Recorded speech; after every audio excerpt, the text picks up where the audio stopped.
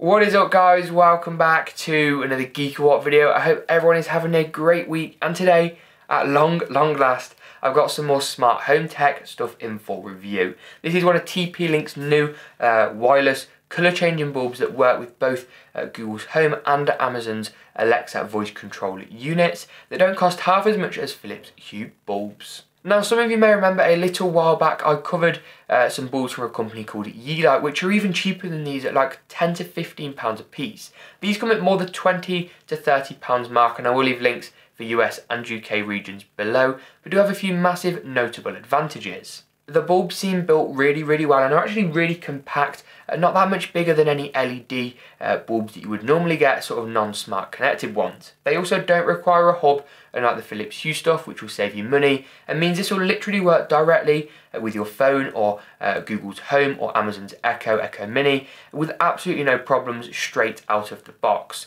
Uh, the Wi-Fi receivers in them seem to be fairly good. In a corner of the house where the internet connectivity isn't that great, these still manage to pick it up with fairly low latency, which is very impressive. The unboxing experience is actually really pleasant. You get a pamphlet with all your information installed in this kind of Apple-esque card pouch.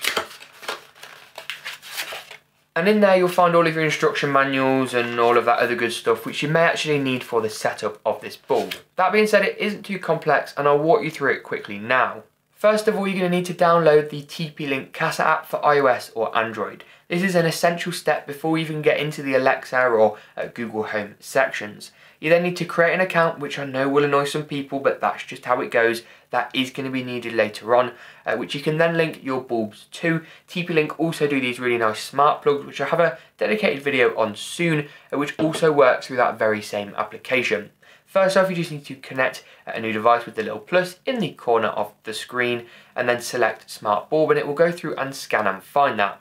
I did have a couple of issues admittedly with setting up this first bulb uh, which meant the automatic setup process just didn't seem to work. That wasn't a problem, I clicked setup manually and chose the Wi-Fi network emitted by this bulb which was handily named TP-Link Smart Bulb 406 something something and it did it all absolutely seamlessly. It was literally a 30 second process and is far more simple than a lot of other smart home tech I've seen on the market. Now that you've set the bulb up through the TP-Link app, some of you may want to connect it to Google Home or Amazon Echo. You do that simply by going into either the Google Home or Amazon Alexa apps going into the smart home device section and then adding the TP-Link Kasa app in as a service. You log in with that login that you made just a moment ago and everything works flawlessly. I'll get onto the voice commands in a moment's time.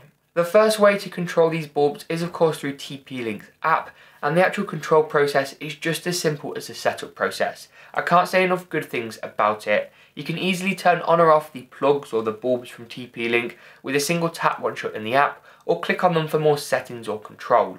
Once you've selected the bulb in question, you can scroll through the different colour temperatures of whites, ranging from a warmer yellowy orange right down uh, to a cold blue light, or select the colour tab for a range of colour options.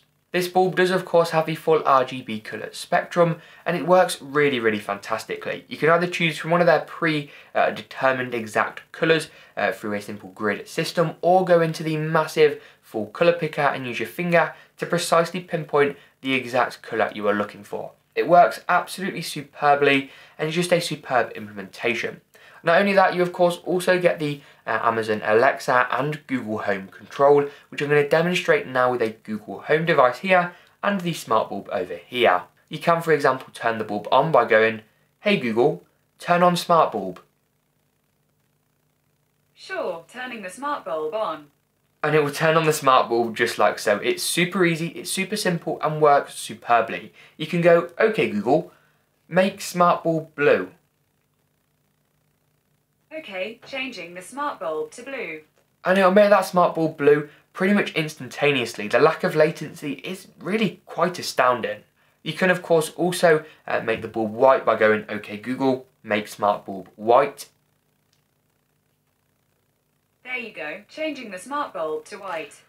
Which is hurting my eyes being situated quite this closely. And of course you can change the brightness by going, OK Google, reduce the brightness of smart bulb. Sure, dimming the smart bulb. And it will dim that bulb uh, far less bright than it previously was, even if you can't quite tell that on camera. Now I've turned it off just for a moment because it really was hurting my eyes, but I think that demo just summarises this bulb for me. Actions speak louder than words as they say. It worked first time and flawlessly with no glitches or crashes or problems. Everything is just seamless. The app's fantastic and the Google Home and Alexa integration just seems, in my experiences, to work absolutely flawlessly.